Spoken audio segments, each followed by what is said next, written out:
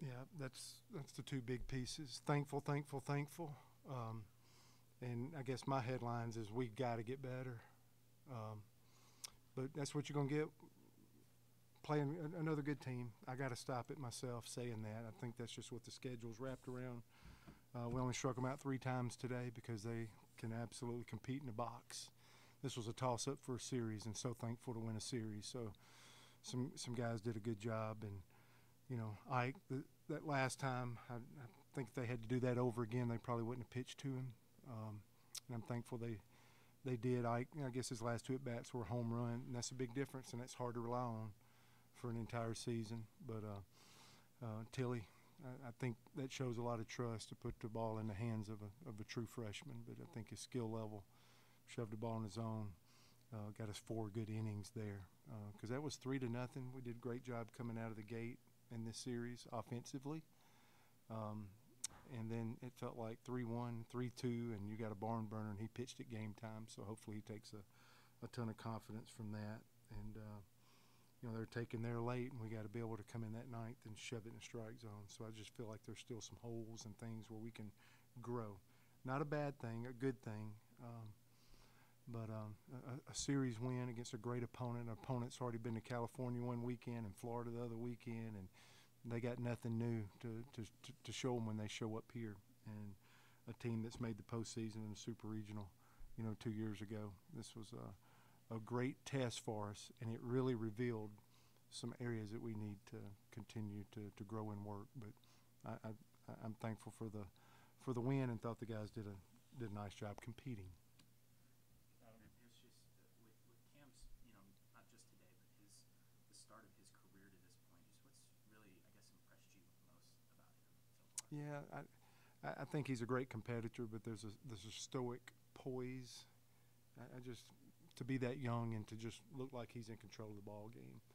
Um, and a lot of these guys, compared to when I played in ancient history, and you're playing, you know, 15 games in the summer in your own town, being in the low low 50s of age, and, and now these kids, this boy closed games for one of 20 young men that closed games for our country, for USA, and you just think about the different experience and how much that helped him to be able to uh, to be prepared and to be ready.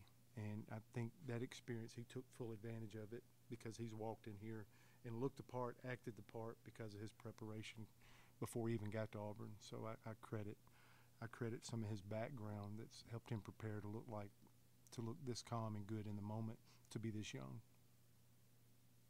Which I, I know he's been short relief on the back end, stretched out a little bit more today.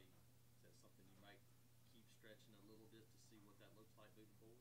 Yeah, we're not we're not comfortable with our starters. That was another thing that we revealed to us this weekend. So, um, like I said, I don't I don't want you guys to ride or to come off like I'm in any kind of weird place. I, I think it's okay to be three weeks in and feel like you need to get better and be in a better place. And I just I don't know.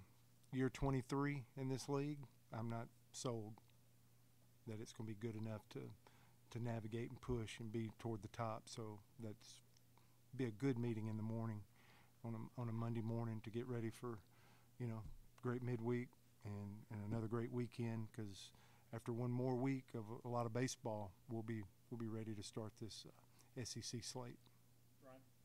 Well, it just seems like Fabian has a habit of having some big hits some big moments, just has a knack for that. Yeah, just the last two weeks, I, I think he is. I'm doing everything I can to make him like a an everyday player. There was a couple of chances where we were changing some people in and out, some pinch hits and stuff, and it even came up where the matchup might have been more favorable for, for maybe a left-hander at the time, and we, we kind of stayed the course there yesterday. And then in this first inning, he, you know, you just you just think about those things as a coach, and we stayed with him, and we did not win that moment last night when we thought about it. But like, if I want him to grow and be an everyday player, it was nice to see him jump out there today in that first at bat. So sometimes the decisions we make are the ones that we don't implement and do, and uh, you can't see. And uh, he's absolutely earned some some length and rope of a chance to be an everyday player, and that was a that was a huge swing today to get us get us started. All right, thank you, Coach. Yep. Thank you guys.